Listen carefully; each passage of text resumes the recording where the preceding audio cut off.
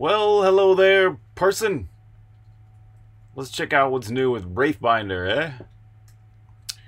Been working on the character creation menu.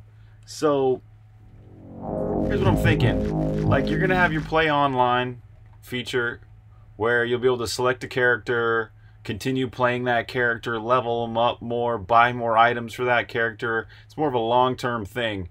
But then if you want to play locally, right, with some friends on the couch, it's more of the kind of thing where you're going to set it up. You're going to be like, okay, I want one, two, or up to four players, right? Uh, and you can choose between solo and team mode. But then, right, let's say we want to start with four player, or let's do two players here.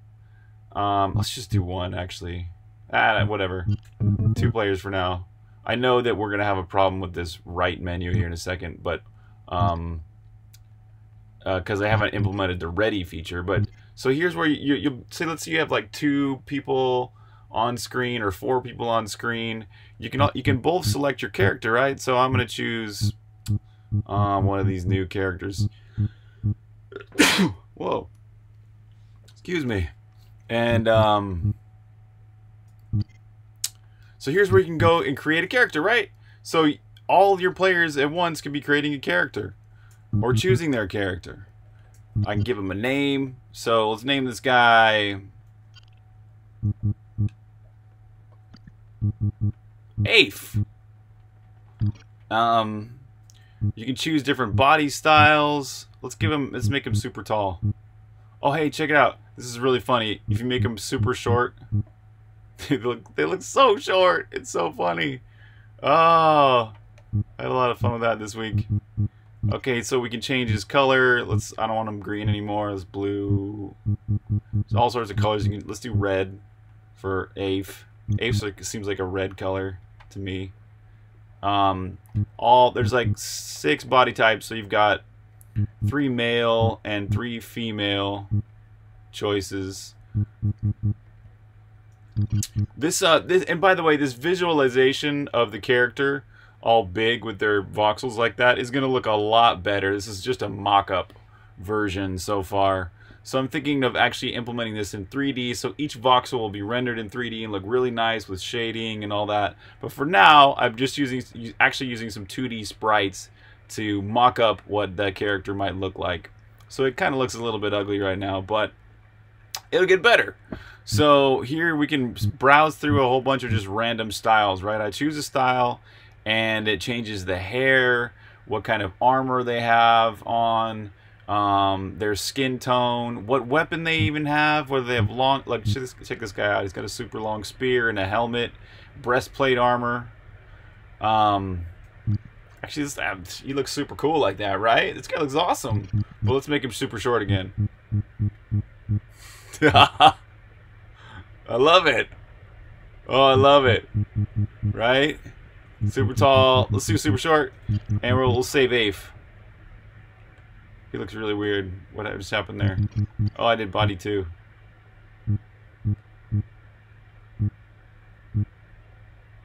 There's definitely an issue with the mock-up uh, rendering of the character where the some of the colors are actually meant to be behind. Like he's got a big old splotch of red on his front right now, but that that should be that should be coming from his cloak which should be behind him. So there must be some kind of Z issue. And in fact, no, you know what? I can see it in the character in the actual uh, background too. So there's some issue with my models. I got to work on my models some more.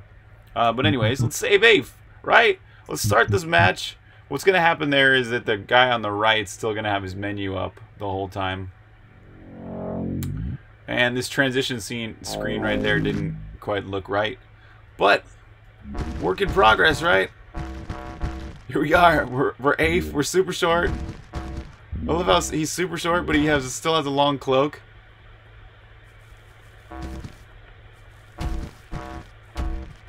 Yeah. So there you have it.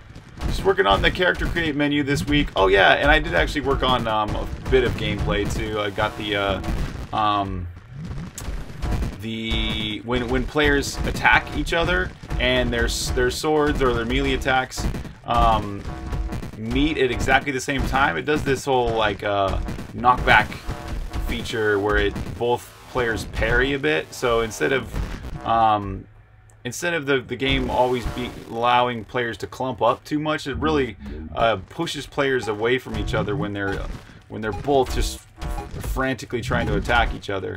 Um, it adds a nice little element to the gameplay. And uh, what I did this week was to make it better.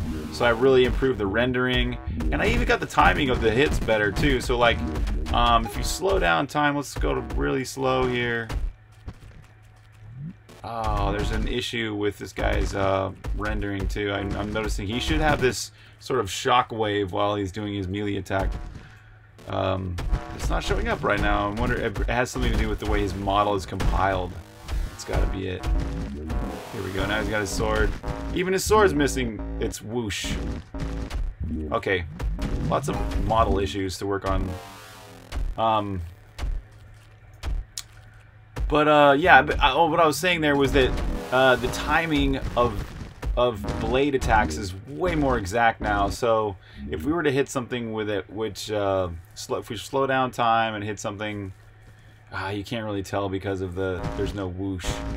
But anyways, I made sure to get that dialed in just right. So when right when the whoosh hits something, that's exactly when the damage happens in the game's tick system. And the exact so the timing feels a lot more accurate now of these hits. So that's all uh, for now. Thanks a lot for watching this video, my friend. And we'll catch you with another one later on. See ya.